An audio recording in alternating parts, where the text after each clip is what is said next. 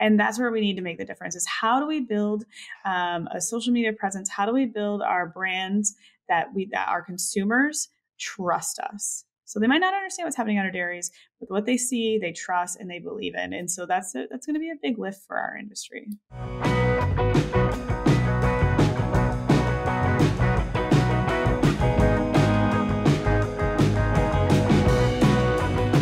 Coffeen here from Uplevel Dairy, and we are at the Adisseo VIP sales meeting. And I have with me today one of the speakers from today's session, Dr. Marissa Hake. Hi, Peggy. Thanks for having me.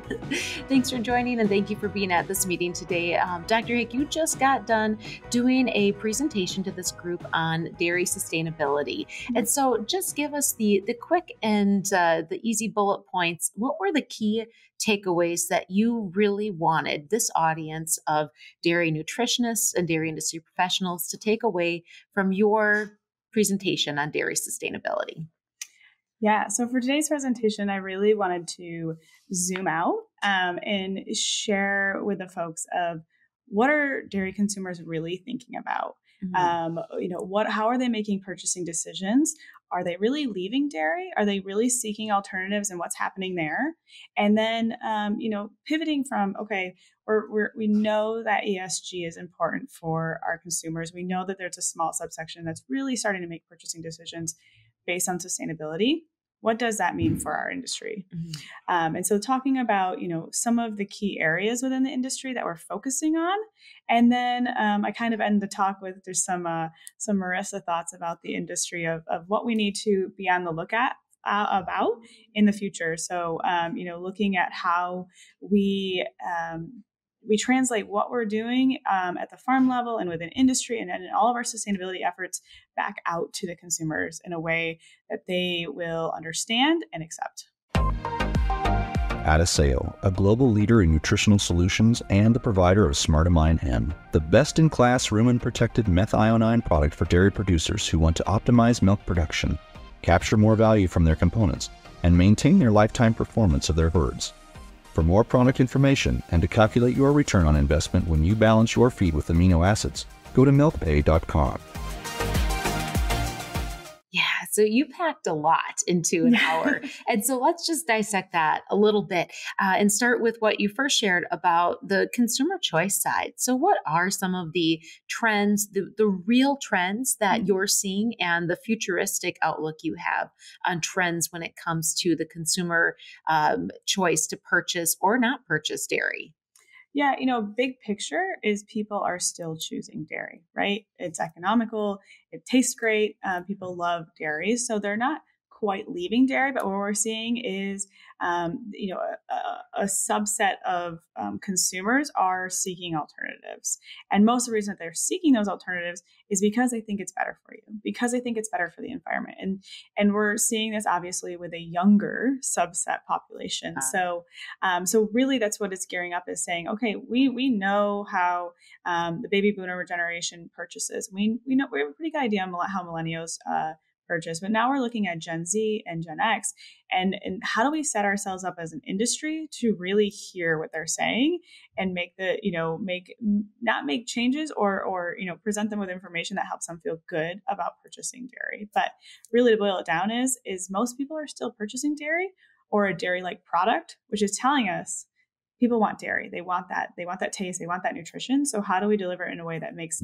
them feel like they have permission to make that choice? Oh wow. So that's a that's a big thought. And and so you and your uh, in your social media presence mm-hmm. as CAFET you get these questions every single day yeah. of people that are asking about the choices that they make.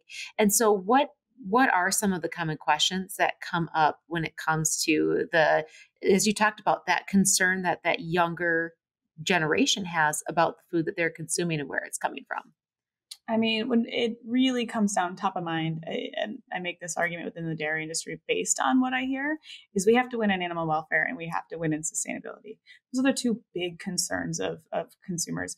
And when I talked about the younger consumer being more concerned with it, the younger consumer is also on social media, right? They're the loud, they're the loud ones. They're the ones talking about it. They're the ones saying, we don't agree with this, you know? And so we really need to listen to what they're saying um, and then provide them back. Not education. I i always argue i don't think the consumer really wants to be educated right? Mm. but they want to trust. And that's where we need to make the difference is how do we build um, a social media presence? How do we build our brands that we that our consumers trust us? So they might not understand what's happening under dairies, but what they see, they trust and they believe in. And so that's a, that's going to be a big lift for our industry. Yeah, yeah. And so uh, so as you just laid out here, mm-hmm. this topic of consumer choice and really honing in on the audience and what they're looking for and the the trust factor that's underneath all of that was a big part of what you shared um, today. Uh, and then also the other aspects that you share when it really comes down to this bigger picture mm-hmm. of the sustainability impact yeah. on dairies. So speak a little bit more into that. Yeah, so I think we're all working towards the same goal in the industry, uh, but we just don't know how quite we're going to get there, right? Mm-hmm. And it's really, honestly, it's going to take all of us. Um, I always say, like, sustainability shouldn't be scary; it shouldn't be complicated. Um, yes, there's some some complications within it, but the way I boil it down is okay, we have to look at the, the, farm level, right? Because that's where our major impact is. And so sometimes farmers are like, man, it just feels like they're, they're picking on us all the time, you know? And from a brand perspective and from an industry perspective, like we're not picking on the dairy farmers. It's just that, you know, up to 70% of the emissions for our product come from that stage. So we're going to put a large focus on the dairy, right? And then when we get down to how, how complicated is it? Well, we have cow poop, we have cow burps, we have cow food, and then there's a little sliver that's energy, right? Energy use on the dairy farm. So those are kind of the three buckets that I, like to break down and say it's not that complicated. Here's the three areas that we're working in.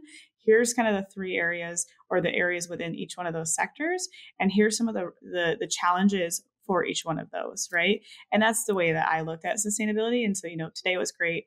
You know, we talked about um, you know, the cow feed bucket and or the or the enteric methane, you know, the cow burp sector of, of how can we use feed additives to reduce um, enteric methane and, and some of these solutions. So it's really going to take the entire industry to come come up with a solution. Uh, and so uh, you also shared your Marissa thoughts, yeah. your Marissa outlook, and some of that revolves around that bigger picture of implementation, of coming together, of collaboration. Mm-hmm. And so, give us the the down and dirty there. What did that look like?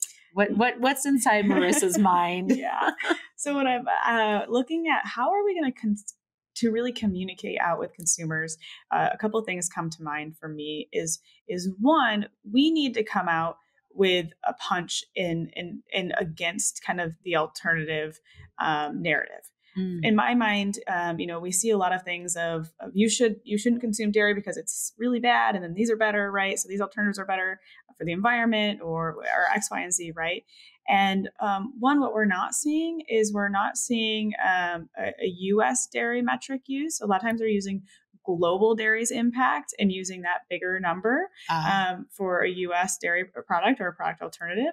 So I think that needs to be adjusted to the region that it's in. Mm. Um, the other thing too is is and I, I am really big on this one is we are looking at the um, environmental impact on a volume basis. And we really need to adjust that to a nutritional basis. Ooh. If we start looking at dairy in that aspect, that's going to be a very, very different story for consumers. Um, and then lastly, um, ex- oh, go ahead. Do you want to? Yeah. Okay. So when you talk about just expanding that a little bit more too for those out there listening, the yeah. volume basis versus the nutrition basis. So yeah. are you kind of re- you're referring to that um, like value of a calorie or value of a protein, right? And, exactly. the, and tying it back to yeah. The, so a lot of times you'll see the you know the chart that'll say um, milk versus oat milk versus almond milk versus you know all these alternatives and the environmental impact per that, and it will be per liter of that product. And I don't think that's that's I think it's very misleading if you adjusted that to be um, the environmental impact per calorie uh, per gram of protein then we're looking at a very different story. And even to add to that, if you're looking at not just on volume basis, but you're also looking at the digestibility and quality of protein, it's also a very, very different story for dairy versus plant based proteins. So mm. that's something that I'm working in and I, am very passionate about. And then the last one that was kind of on my mind is, um, you know, as we are making all of these advances within industry and we're looking at solutions, we have to be very, very careful to make sure that we have consumer buy in around some of these new technologies. So I will use feed additives for an example. We have to be very careful to position that in a way that our consumers will accept that as safe and and um, you know uh, acceptable. I give the example of RBST. We lost a technology that did help with sustainability because the consumers perceived it as an issue and they were scared about it, right? Had fear mm-hmm. around it. And so that's kind of my last call out is as we come up with these solutions, we really have to be cognizant of getting uh, consumer buy-in and making sure that they accept it.